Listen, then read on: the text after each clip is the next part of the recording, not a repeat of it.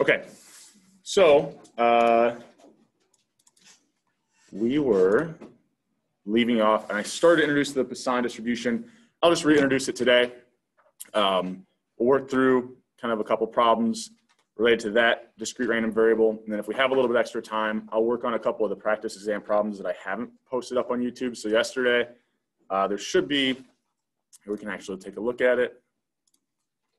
Maybe zoom things out of my way. So let's go to YouTube. This is the wrong one. So let's go to, oh, I don't want to do that. Should give me an option to sign out of here. There we go. Just look it up. So if we go here, to the playlists, our section. I want you guys to hear that. If you look down here, there's questions one through four, questions five through nine, questions 17 through 20. So it's basically me working through those problems on that practice exam A. So the question that we do today will not be these, um, just because I've already got kind of how we would work through those. Uh, so I'll start in some different problems. If you have any specific questions on practice exam um, A or B, we, I, you know, I can go over them again if you really want me to, but you can kind of see me work through those here in one of these videos. And I kind of tried to put them into smaller sections. So if you have a specific question, you're not like going through this long video, you kind of can, can choose the one that has that specific question involved in it. Okay. Um, any questions for me before we kind of jump into things today? Leading into the exam or, okay? All right. So we had this set up last class. We were starting to talk about, we had the binomial distribution, but we also have a unique discrete random variable, which is the Poisson, right? So the Poisson isn't capped in the total number of successes we can see. It's just over some interval.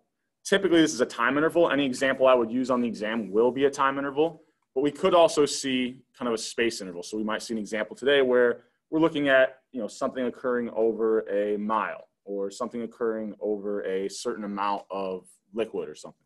So uh, we had a couple criteria that had to be met. I'm not going to worry too much about going over these again because it's always going to be met in any example that I give you. We're just going to assume that, that this is true, that you know over any given interval of the same length, the probability that we see something occur is going to be the same. Right? And that these intervals kind of don't overlap, right? So the idea was, let's say uh, I'm interested in there's on average 10 accidents every week out in McGalliard. Right? What's the probability this next week I see seven? Right? That's kind of the, the, the general setup, right? We have an interval, right? A week, it's our time interval. We know the average that typically happens over that time interval. I think I said it was 10, 10 accidents. And now we're interested in predicting what's going to happen next week, which is what's the probability we see five accidents, seven accidents, more than three accidents, right? So the way that we find the probability of exactly a certain number of occurrences, in our, my example, a certain number of accidents, would be using this probability mass function. So we had a probability mass function for the binomial that told us the probability of seeing a certain number of x successes. Here, this is going to be what it is for the Poisson. So really, it's actually quite a bit easier because there's only two things we have to keep track of. This e is just some natural kind of number. Like I said, you can find this on your calculator. Usually it's second, and I forget what, what button it's above on most calculators, but you can kind of see it there. It just, just looks like a cursive E. Lambda is going to be the average rate we typically see over that interval, so it has to be given to us, right? So when I think about um, whatever interval I'm looking at, my example was there was 10 accidents, that would be my lambda, right? That's the average we typically see. And then X is just, well, what am I interested in? The number of occurrences I'm interested in finding the probability of. So lambda would be the 10 accidents every week, and x would be I'm interested in finding the probability of five happening this next week. Once I plug that x and lambda in, e is always the same. We said if we want the actual number, it's something like 2.71828. So for whatever reason, if we panic, we can't find it on our calculator because we didn't look ahead of time before the exam, um, this kind of number would work for you if you use it, right? Out to the, what, fifth decimal, okay? So uh, we'll work through an example here. So let's say, so there's this guy a long time ago, and he, he you know, real smart, whatever, wrote, wrote a really good book. Um, he found that on average, there's 0.61 soldiers that die every year from, from cavalry or getting kicked to death by horses in the Prussian cavalry. Right? So on average, over a year, that year is our time interval, we typically see 0.61 soldiers die. Right? So this 0.61 is going to be our lambda. It's the average rate we typically see over that time interval of a year. All right. What's the probability then we could be interested in? What's the probability that exactly three people would be kicked and killed by horses in that army the next year? Right? So now I'm wanting to find the probability x is equal to three. And so x is going to be three, lambda, remember this was lambda, this Greek letter here, is 0.61. Now it's just a matter of plugging those into our equation, right? And hopefully this shouldn't be too bad, right? Because we're just taking something to a power here. One thing to got to make sure you always don't forget, because you'll get wildly incorrect answers if you if you don't put in there, is this is negative, right? e to the negative 0.61, okay? And then we've already dealt with these factorials, right? So um, you kind of can notice what would be a problem potentially with this equation. Oh, sorry, actually, also this should not be repeated. You can kind of cross one of these out. What would be a potential problem with this Poisson distribution? What would happen if I wanted to find the probability of, I don't know, 100 soldiers dying the next year? Well, now my x is 100. This becomes 100 factorial. What's the problem if I try to do that in my calculator? I can't do it, right? But typically these, you know, if we think about this, if on average 0.61 die every year, by the time we get to 100, what should that probability be pretty close to? Yeah, right? If the average is 0.61, the likelihood of seeing 100 the next year, almost impossible, right? So once we start to get those larger numbers, it's not typically a big deal because we already know the probability is so close to zero, we wouldn't even need to compute it. Um, if we go ahead and plug this into our, our calculator, um, we'll get 0.02. All right, so like I said, this is it's the same process as the binomial examples we were doing, but honestly, I think probably an easier equation, right? This equation is a little bit easier to deal with. So we're, we'll work through another couple examples. So let's say, um, let's say uh, I'm in a hospital, I'm interested in staffing decisions, and I know that typically my hospital sees 1.25 births every hour. Right? What's the probability that in this next hour I see exactly three? So maybe I'm worried about not having enough people on staff to kind of handle, even though it's not the most common outcome, right? The most common or the average I typically see is 1.25 births every hour. But I'm worried that if I did have three, I might not have enough people on staff. And so I want to know, well, what's the likelihood that I do see three births then?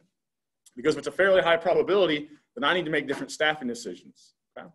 or how many people are on, on staff. So we're looking at one hour time intervals. The average we typically see is 1.25, so that's going to be our lambda. And then we're interested in finding the probability of exactly three, or the probability x is equal to three. So now my x is going to be three here. Okay?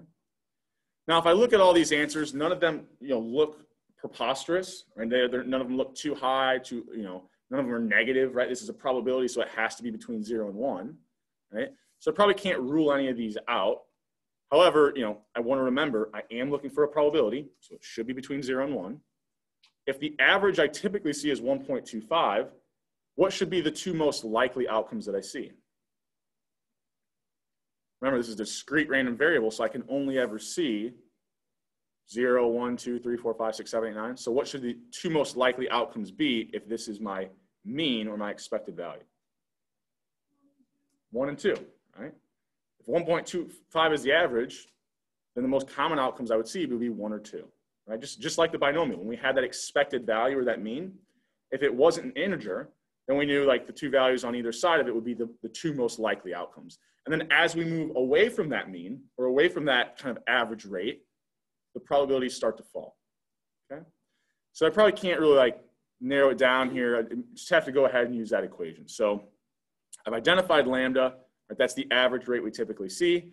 I've identified X, that's the number of occurrence I'm, occurrences I'm interested in finding the probability of. From there, it's just, it's really is just a matter of kind of plugging this into our equation and kind of being comfortable using our calculator with factorials, finding that E button, okay? Uh, so we'll get about 0.09, right?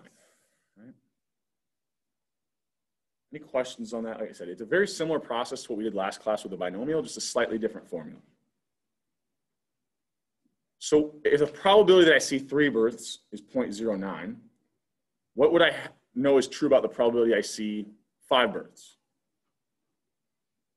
It would have to be lower, right? I'm moving further away from that expected value of 1.25, and so I know the likelihood is going to start to fall. Right?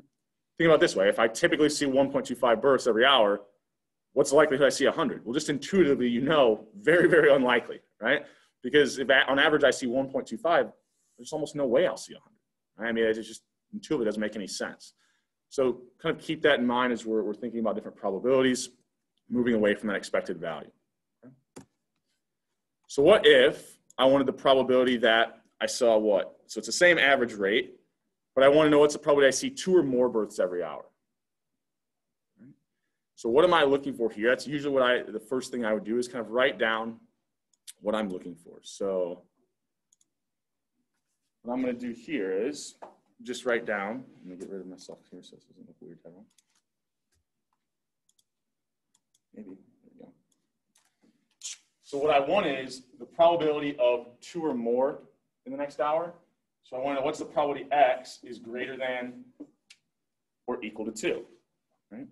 Now, what's going to be the problem if I try to solve this? Well, we do it just like the binomial. We would say, okay, what outcomes would fit this criteria? We then find the probability of each one of those outcomes, add them all up. So what's the first thing that would fit this criteria? X could be equal to 2. Then I would add to that the probability x is equal to 3 plus the probability x is equal to 4.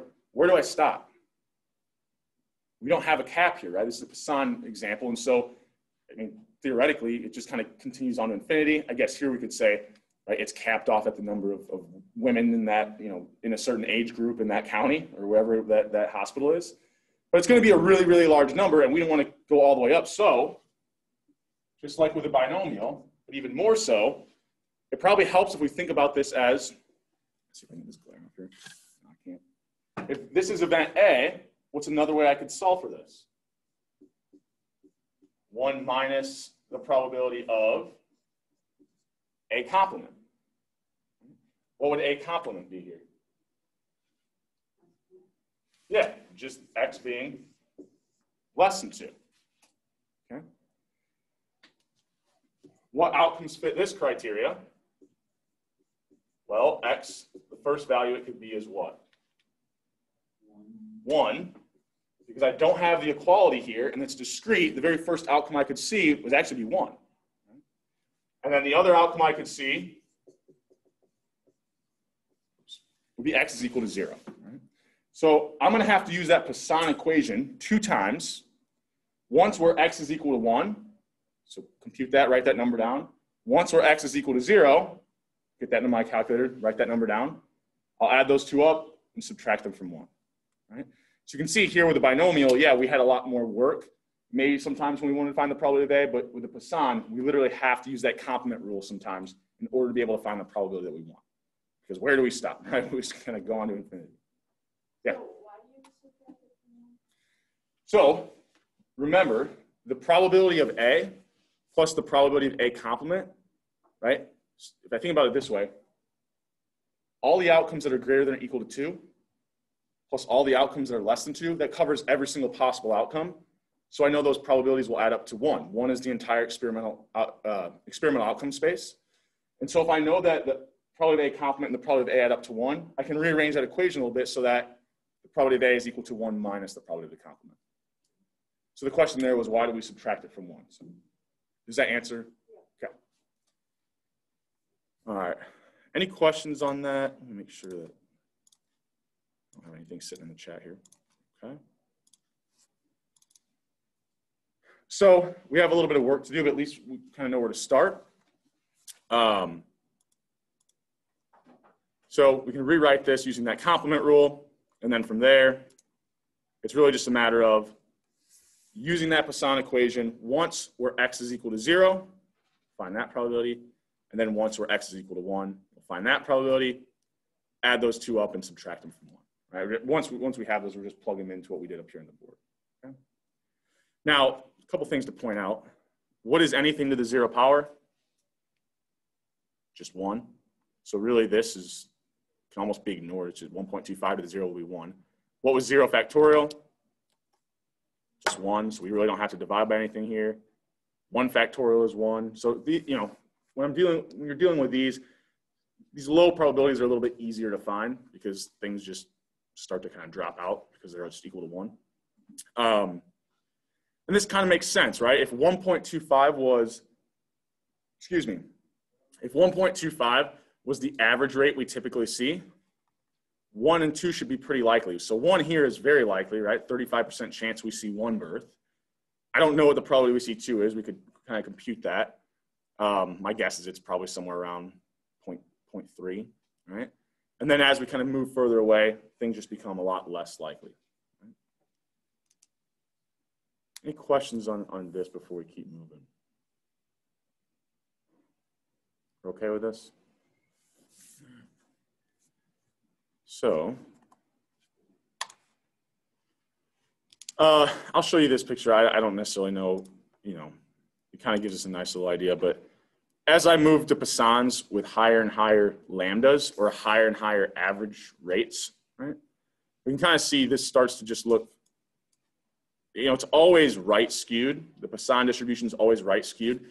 And it kind of makes sense, right? We can't see anything below zero, so it's always going to be censored on that left-hand side. But as we get a higher and higher lambda or a higher and higher mean, it just kind of starts to shift where we're getting closer and closer to something that looks maybe a little bit normal. But ultimately, right, it's still going to be a right skewed distribution because there'll always be like a longer right tail than we would see kind of a, left tail. Okay, and I'll use this for something else here in just a second.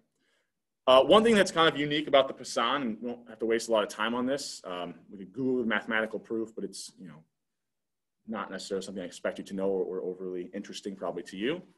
But a really unique property of the Poisson is that the mean, well, the mean is just the average rate we typically see. That kind of makes sense. So the mean is just lambda, right? It's that expected value or what we typically see, or the mean. The variance actually ends up also being equal to lambda right? So it's kind of a unique property of the Poisson distribution that the mean and the variance are both lambda, okay? And then of course I wanted the standard deviation, just like always, just the square root of the variance. So if the variance is lambda, the standard deviation would just be the square root of lambda? So I don't think that anything terribly tough here. If I ask you a question on the exam, um, which I may ask you this question since I already have the exam written. Um, if I ask you for the mean or the variance of a Poisson distribution, you have to be given lambda in the problem. This should be very easy points, right? Whatever your, the average rate you're told is, that's the mean and the variance, okay? All right, so um, let's go back to the binomial for a second. I want to try to relate these. And I, I probably won't you ex expect you to do this particular problem on the exam, but it kind of helps us work through a binomial and another Poisson example just so we get, get more, get used to using these equations. So let's say we had a mass that contained 10,000 atoms right, of some radioactive substance. The probability that any one atom decays, or sorry, the probability that an atom decays over the next minute is 0.0005, so pretty low. What's the probability out of these 10,000 we see exactly three atoms decay in the next minute? Well, we have this set up as a binomial because we either see an atom decay or we don't right? So one, zero, success, failure. The probability that any one atom decays is 0.0005. And as long as, you know, these are independent decays, which we'll assume they are, then the probability of success, or the probability we see any one atom decay, decay is the same across all atoms. Our n, the number, total number we could see decay is 10,000. And we're interested in finding the probability of x, which is exactly three. So we could set this up as a binomial, plug all of our numbers in. And you know, it's nice here if we think about um, this definitely, we can't put 10,000 factorial into a calculator, right? But if we wrote this out, remember 10,000 times 9,999, once we got to 9,997, everything would cancel. So we could do this problem. But what if we were interested in maybe seeing what's the probability that 100 atoms decay or something like that? Well, we're still going to have, you know, then we don't have near as much canceling out. We're still going to have a number that we probably can't deal with in our calculator. And so, you know, this is also, you know, like I said, I think the Poisson distribution is an easier equation to deal with. So it actually ends up being true. So we, we could compute this.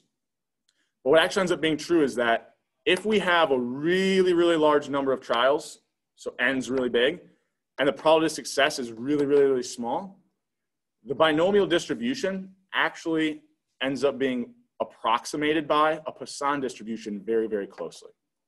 So if I remember that the equation for the binomial mean is just n times p, right? So up here I say, okay, I'll take 10,000 times the probability of success of 0.005, multiply those two together. That gives me my mean for the binomial. I'll just treat that as that's the mean of a Poisson, and I can get a really close approximation now by using that mean as, uh, you know, treating that, that mean I found as lambda and using the Poisson equation. So if I use this and plug in for lambda, 10,000 times 0.0005, and then I'm interested in finding the probability that three atoms decay, so x is three, right? So just plug those values in. So 10,000 times 0.0005 is five, so that's my lambda. My uh, x is three. I compute this, I actually end up getting the exact same answer, at least out to the fifth decimal. I'm sure if we go out to some decimal, right, it's an approximation, it's gonna be off way out at some far decimal, but at least to the, to the fifth decimal here even, we can get the exact same answer. You kind of have a nice visual of this, and here even the uh, the mean, you know, it's not that we even necessarily have a high number of trials. So we look here, when we have a Poisson that has a mean of 0.1, actually, let's do the 0.5 one. I think this one's a little better. So if we had a Poisson distribution that had a mean of 0.5, notice the probability of zero is about 0.6, and then it kind of falls off pretty quickly. If I go all the way back up here, when we were talking about the binomial. So I find a distribution that has a mean of 0.5. Well, if n is 5 and p is 0.1, n times p, the mean here of a binomial is 0.5. Notice the probability of 0 is 0.6, and it falls off very quickly. Now, this one probably wouldn't be a good one to use because n is, is pretty small here, but we can see even when n is small, this binomial and the Poisson distribution look pretty similar when that probability of success is relatively low. And so if that probability of success gets even lower and n gets even higher, these two things just become even closer of an approximation for each other. Okay? All right, let's go back. So we could do that. Like I said, on the exam, I'm not going to expect you to convert um, a binomial to a Poisson, but it gave us a little bit more kind of practice of, of seeing how we would plug some of these values in. Okay? So which of the following um, scenarios would be good to use the Poisson? So really what we're looking for is an interval, right, of time. And we want to be looking for the number of successes that it could occur over that interval. Well, I've already used this example uh, in class today, but the probability we see a certain number of accidents on a highway over an entire day. If I have the average rate I typically see on that road on a typical, uh, you know, on a typical day, that's my lambda. That's really all I need. All I need to use the Poisson is that average rate and be looking at some, some interval like I said, for us, usually a time interval. Okay. The probability that a stock exceeds 10% in a given year. Well, here, I'm, I'm, i could be confused because I've got a year, right? I've got the time interval, but what would my average kind of rate be? Here I'm looking, does the stock return exceed 10%? You know, so it could be, you know, it's not like I'm looking for the number of times it exceeds 10%. It can either exceed it or it doesn't. It's either, you know, some value above 10 or it's below it. I can't really find a number of occurrences here. Right? I'm looking at one stock. If I had an example that I said, how many stocks in the portfolio exceed 10%, and the probability any one stock exceeded 10%, you know, we think it might be the same over that year. Even then, well, I'm looking for does it exceed or not. It's not how many of them occur, you know, it's not how many times each one of these occurs over a given interval. I'm really thinking about more of a binomial here, even if I try to change this example. Okay? So that's going to be the one that we really can't treat as a Poisson. But just to get a couple more examples that you could see. The probability we see a certain number of calls come to a call center over a given minute. If I know the average number I typically see over a minute, I'll have lambda. And this is a very good example. You know, the probability a certain number of insurance claims are made over the next what month, year, week doesn't doesn't matter what period of time. That'd be another great example. And you can kind of imagine these are things companies probably want to know.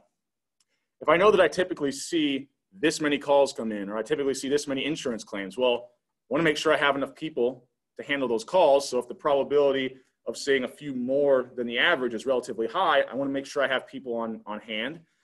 If you know, I know that I, you know, the probability of seeing a, number of insurance claims is uh, relatively high for numbers that are greater than the average rate. Well, I want, might want to make sure that I, I have the, uh, the funds or I have the ability to kind of handle all those claims. Right? So these are, you know, the Poisson is a pretty relevant, you know, it's, it's very applicable to a lot of different scenarios. Um, and that's why, why, why I'm going over it. Um, so we'll go through one more example um, with a Poisson distribution, and then I'll do some work on the board. I think this is probably the last kind of stuff I have in the slides here. So there's this guy, W.S. Gosset. You know, he was hired as, as uh, a brewer by Guinness. He had no formal education in statistics, mathematics, um, no degrees. And what, he ended up finding out is was he was working as a brewer. He had to kind of test, right? If you see, like, if you ever been to a brewery, they have these huge, like, I don't know what they call them. I call them vats, but they're like, they look like these silos where they're brewing this beer, they obviously can't test the entire thing, but they can sample a little bit of the liquid from it to make sure that it's brewing the way they want. Um, and typically, like, you know, the way I'm going to describe this, I don't know if this is like the technical way that brewers do it, but one thing they might want to test is the amount of yeast per, per particle, right? Because they want to make sure that it's at whatever level they want. And so he discovers that as he's testing, right, this, this smaller amounts of this huge vat of liquid, that the number of particles he's seeing follows a what he you know kind of kind of uh, ends up identifying as a Poisson distribution. He also came up with a bunch of other stuff that we'll talk about later in this course. Um, but because he didn't have any formal training, because he didn't have a degree, some of the distributions he actually came up with this family of distributions don't carry his name. They're actually just called student distributions. Right? So if you've ever heard of the normal distribution, that's kind of like the bell curve. That's actually also called the Gaussian because a guy named Gauss came up. Well, they didn't name it the Gosset distribution. So they're a little bit of history, and he made a bunch of money. So um, let's say we have this example where he's testing one milliliter of liquid from this huge vat. Right? So this is kind of a weird one because now we're not dealing with a time interval, but we're dealing with a liquid kind of space, right? One milliliter. We can, we can do that. Just like I could say how, you know, if I'm walking down the road what's the probability I see 10 pieces of trash over this next 100 yards, right? I could don't have to do a time interval. I can do like a space interval. So each milliliter that he draws out, um, he typically sees that on average, there's 10 particles, 10 yeast particles per milliliter, right? So he then says, okay, if I were to test one more, what's the probability in that one I only see eight? Because even though the average is 10, I might take the first sample, the first milliliter might only have nine. And the next one might have nine. The next one might have 10. The next one might have 12. The next one might have 11. Right? I'm not always going to see 10. That's just the average. And so what's the probability that I see eight? Right? Well, if on average over this space I see 10 particles, that's my lambda. I'm interested in finding the probability that in this next sample I see exactly eight. That'll be my x. That's all I need for the Poisson. Right? Once I have lambda, once I have x, just plug them in. I'll get it. Now, if I look at these answers, which one of these could I probably rule out as being the correct answer? Takes a little bit of thought, but there's one here that I actually can, I can technically rule it out for sure. C, right? So it looks a little bit different, right? It's pretty high, but why can I theoretically rule it out? Well, if we think about this, the mean should be the most likely outcome. Said differently, that, you know, if I was look, to look up the probability that I see exactly 10, right, the average, that should be the highest probability. If the probability that I see 8 is 0.8, well, there's only point what one seven of probability left to get me to the entire experimental outcome space. So if the probability of 8 was 0.8, the probability of 10 couldn't be higher than that. And I know that the probability I would see exactly 10 has to be the highest because it's the expected value or the mean, right? And then as I move further away from 10, the probabilities have to start to fall? So at the very least, I know that this probability would, should be less than 0.5 because it's not the most likely outcome, right? And if it, the probability is greater than 0.5, then it, there's no way any other outcome could be more likely. Right? Other than that, I really can't rule anything out, but you can kind of cross out C here. We know one of these will be the, correct answer. We identified lambda and x, I kind of already mentioned this. Now it's just a matter of plugging and chugging. Get it? Because Guinness beer. Um, okay. So anyways, So we plug in lambda is 10, we plug in x is 8, right? It's pretty easy. Right? I mean, I shouldn't say it's easy, but it's the same process that we've been doing with all these other problems. Once we identify those two pieces of information, we know what equation we need to use, same process over and over, okay? All right, so we get about 0.1126 there if we enter this into our calculator. And then another terrible joke, but I always like this mean. Have you heard the joke about the Poisson distribution? It's pretty fishy because Poisson means fish French, I think. Does anyone know French? Okay. I always forget if it's, it's French or not. All right. I don't think we'll work through this because I want to get through some uh, other stuff and also maybe some practice exam problems. But I do want to do one more thing with the Poisson that you could see, wink, wink, on the exam. Let's say that I'm told, uh, oh, it's a fun example? I don't know. Um, the number of people, I always use like shark attacks and lightning, but we'll do, we'll do lightning. Um, let's say that on average, over a given year, right? That's something like, I think I will do, make this easy. Let's say 36 people are struck by lightning every year, okay? Well, from here, it'd be very easy to think about with a Poisson distribution. I could start to find things like, well, what's the probability that 30 people are struck this year, right? Because I'd have my lambda, I'd have my x, pretty easy. But what if I was interested in the probability that x, and now I say, what's the probability that um, two people are struck by lightning this month, right? So I've changed the time interval. But as long as I'm told that being struck by lightning is equally as likely every month, right? There's, and I'm not sure if that's scientifically true, but let's assume for a second it is. I have the average that typically I see over a year, so I can't use this to find the probability that I see to this next month, but I can convert this, right, to find the average. If I know the average I see over a year is 36, how could I find the average that I typically see over a month? Just divide it by 12. There's 12 months in a year. So now I have the average over the month, which is 3. Um, I have the x that I'm interested in for that month, which is 2. Now it's just back to a normal example, right? I've got lambda is three, x is two, plug those in, I could get the probability. So we can do some conversions, right? I might originally be given an average over a longer time interval. If I want to go to a shorter time interval, like from a year to a month, I'll just be dividing by whatever that conversion factor is. And if I ask you a question like this in the exam, it's not going to be anything like uh, converting, I don't know, miles to yards or anything like that that you might not remember off the top of your head, but it'll be something very easy. Year to months, uh, days to hours. So if I was going from one day to, to an hour, I would just divide by 24. Hour to minutes, divide by 60. Kind of those, those types of examples. Maybe week to day, divide by seven, something like that. Right? Um, any questions on, on this? I didn't kind of complete the example, but you, you can see once I have the lambda and I've got x, it's just like the other examples that we worked through. Okay. Make sure there's no questions here. All right. So we're good with this? What if I wanted to go, so if we want to go to a smaller time interval, we were dividing by a conversion factor. Let's say I know the number of car accidents I typically see every day is four, but then I'm interested in finding the probability that, I don't know, 20 happen this next week, how can I convert my lambda here so that I get the lambda or the average rate over the next week? I would simply do what? If I know the average every day is four, yeah, the average over the week would just be, well, there's seven days in the week, so now I'm multiplying by whatever that conversion factor is.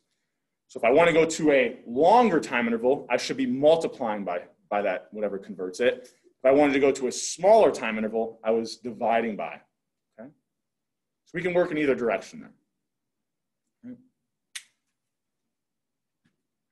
questions on that? And then once I'm here, right, I've got what? Um, 28 would be my lambda, 20 is my x, plug them in, figure out the probability is. We're okay with these? Okay. So that should cover it for the Poisson for today. I want to, there we go. I want to work through a couple of these problems on practice exam A. So I think, you know, I'm studying for the exam. Um, another video that might be useful is that additional video I put out, what was it, last weekend, um, on additional Bayes theorem problems, just because, you know, it gives you, you know, I worked through two more examples there. Also, wink, wink, I think it'd be a really good video to watch, okay? Like really good, like as you're studying, um, just to see those problems worked through, okay? So that's the additional video I posted. It says like, I think it's called uh, additional video Bayes theorem. Here, I'll show you. Additional Bayes recording, right? This has, like, I think I worked through two problems, right? But it has, uh, I would specifically pay attention to those examples that are, I worked through, okay? So here's one that is gonna be similar to a Bayes theorem problem you could be asked about. Um, suppose that given someone is lying, the probability a lie detector test says they're lying is 90%. However, given that the individual is not lying, it incorrectly determines they're lying 20% of the time. Recent studies find on average people lie about 5% of all things they say. We choose a person at random, answer the following question. So, excuse me, what's the probability that a person is lying and the test says they're telling the truth? Okay. So, well, what do I do here? Uh, let me keep this screen up here. I'll just make this as big as I can for the recording.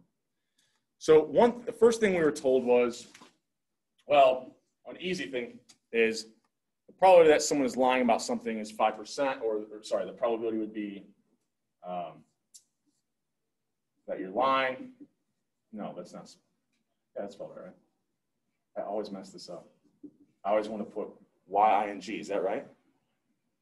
Shows how terrible I am in English. Okay. This is right or this is wrong? That's what I thought. Okay. But every time I write it this way, it doesn't look right either. So probability they're lying is, is 5%, right? So 0.05. So what would be the probability that, and actually here, I'll write in truth instead of not lying. But probably I lie about things is 5%. The probability that I'm not lying would be 95%, or yeah, 0.95, right? Those are my two states of nature. I know those probabilities have to add up to one, okay? And I'll switch to full screen here in a second uh, for this video, but let's identify the other things we're given. So given someone is lying, the probability the lie detector says they're lying is 90%. So remember, given that someone's lying, the probability that the lie detector test says they're lying, and I'm going to write LD for like lie detector test here, is 90% or 0.9. Right? The next thing we're told is given that someone is not lying, the lie detector test incorrectly determines they are lying 20% of the time. So now we're saying, given that someone is telling the truth, the lie detector test actually incorrectly says they're lying 20% of the time or a probability of 0.2. So these were all the things that we were given just from the problem, right? So we'll write these down. Um, I then have to identify, okay, what am I looking for? Right? So I go back, very first question, what's the probability someone is lying and the test says they're telling the truth? Right? So I'm gonna write that down. What's the probability that a person is lying and the lie detector says they're telling the truth. So hopefully we can remember these. I'm going to erase these for a second. What I'm looking for is the probability that uh, someone is lying and the lie detector actually says they're telling the truth. Right? Let me double check this. That's exactly what this is saying. Lying and telling, okay. There we go. So how can I find this intersection? I wasn't given that, right? But if I go to, uh, where is this? There we go. If I go to that formula sheet that we're going to have that I would suggest kind of having pulled up as you're working through the exam, we look here. Oh, I can rewrite the intersection of two events as a conditional probability times what I'm conditioning on. So here I can write out my example as a conditional probability times what I'm conditioning on.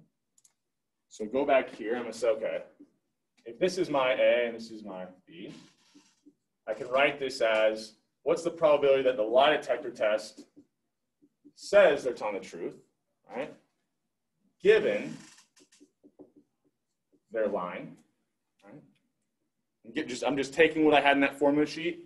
I'm plugging in my B and my A.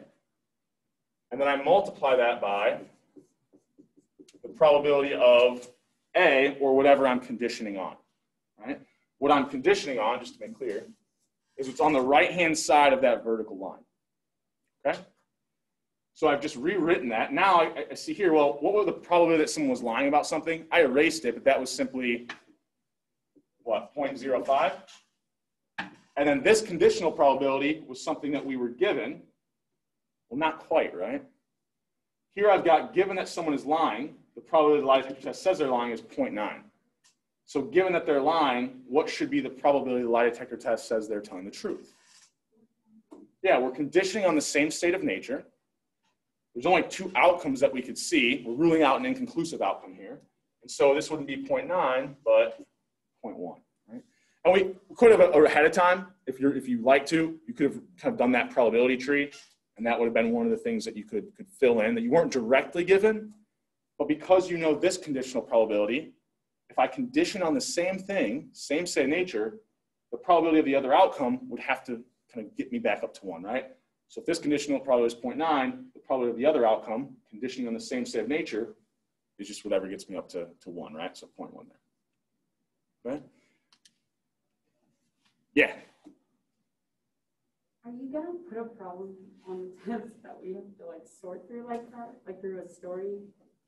Yeah, so this, right? Uh, where is it? Yeah, I would expect to see a problem that looks like this, right? Where you're gonna have to identify two conditional probabilities, right? We're given information, we have to identify two conditional probabilities. And I, I'll keep this same language of using that word given right? And whenever I say given, that's what I'm conditioning on. Right? I'll get, then give you the probability of the one of the states of nature, right? And then you can kind of work, you know, work through something similar to this, right? We're going to probably run out of time here, but you're also then going to be asked one, um, like in 12, where you're going to then have to use Bayes' theorem, right? So this one, we just simply use the multiplication rule, right? That we could rewrite the intersection as a conditional probability times what we condition on. It gets a little bit harder once we want to find a conditional probability, right? So I'll start to kind of work through this. I'll have to erase kind of what we have here. So is everyone okay with, with this? Okay. Um, so number 12 says what? Given that someone fails the lie detector test, or uh, given that, oh no, yeah, yeah. given the detector um, determines they lied, what's the probability that they're actually telling the truth, right? So we're going to write this out, what we're looking for. So the probability that I'm interested in is given that the lie detector test says they're lying, that was what we were told, what's the probability they're actually telling the truth? So this is the idea of here's our outcome of the test. We want to know, given that we see that, there's people that lie detector test says they're lying and they actually are, but there's also people that lie detector test says they're lying and they're actually telling the truth. So once I see this result come back from my lie detector, what's the probability the person was actually telling the truth, right? So I go to my formula sheet. Now, if I, oh, didn't want to do that. If I try to simply use my multiplication rule here, and I write this out as the intersection of of uh, these two events divided by what I'm conditioning on. Well, I'll be dividing by the probability the lie detector says someone's lying. I don't have that, right? And so this is going to be one where even if I try to write this out, I'm not going to have those probabilities. I'm looking for a conditional probability, and the format of these exams looks pretty similar. So you'll probably be able to identify like you're, you're kind of at the question where this might be a, what you need to use. It's probably a good indicator that in order to find that conditional probability, I'm actually going to have to use Bayes' theorem, right? Well, once I have my example, right, I've written out the probability of what I'm looking for. This is my S. This is my E, right? I'm then just going to write out this formula in the context of my example, right? So the probability of S would be the probability someone is telling the truth times the probability of E given S, the probability that the lie detector test says they're lying, given they're telling the truth, right? So if I just start writing this out in the context of my example, probability that someone's telling the truth times the probability of E, and I'm just following the formula that's on that formula sheet and plugging in the words that fit my example, right? I'll then divide that by, and if we notice on that formula sheet, oh, this up here. We notice on that formula sheet, the first part of that denominator is the exact same as the numerator. So that makes our life a little bit easier. Uh, so probability of truth times the exact same thing we have on top. So given the truth plus the probability of S complement. Well, here, if S is telling the truth, S complement would just be probability someone is lying. Right? And then I ran out of room here.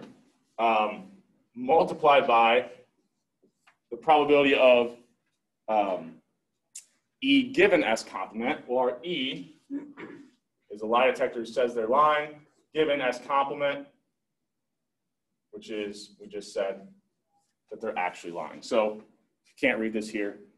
This is the probability someone is lying times the probability that the lie detector test says they're lying, given that they are lying.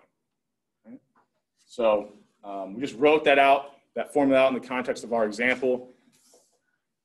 We're getting time, we're almost out. So from here, it's a matter of plugging values in. When I had those original things written down that the problem gave us, those were the conditional probabilities that the problem gave me. I have the probability someone's lying was like 5%. We said the probability someone's telling the truth is 95. I have all these values. Now it's just a matter of plugging them into that formula. Okay? All right. I'll, um, like I said, if you want some additional kind of problems that look like this, I would watch that additional Bayes recording. Um, I may get up another couple. Um, I'll probably put up this one as well, what we did in class today. And then Monday, we'll be doing a little bit more review. Monday, try to look at the practice exams. If you have specific questions on either practice exam, A or B, bring those questions Monday, whether or not you're here in person or on Zoom, and I'll, I'll answer those specifically. So I'm not working through questions like calculating a mean, right? I hopefully those that's not going to be one you guys have a question on. So um, you have any questions over the weekend, email me. I'll try to uh, be a little busy on, on Saturday. I'll try to respond as, as quick as I can. Okay? All right. I'll see you guys on Monday.